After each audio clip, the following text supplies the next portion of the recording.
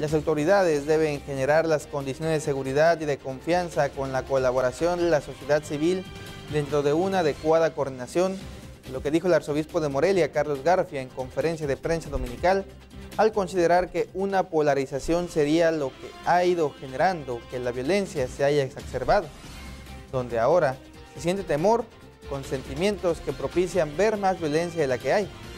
Carlos añadió que como iglesia están buscando objetivar la realidad y generar formas de colaboración donde existe una relación más objetiva entre autoridades y sociedad civil.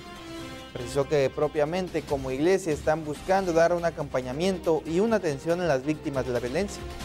La polarización a la que tú te refieres expresa que la violencia se ha ido exacerbando y que hoy donde podía uno moverse con mucha confianza ya tiene miedo.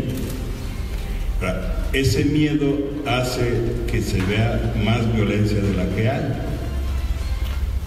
como iglesia, lo que estamos buscando es objetivar la realidad y generar formas de colaboración, buscando que se genere una plataforma social donde hay una participación directa de toda la sociedad civil y haya una relación más objetiva entre las autoridades con la sociedad civil.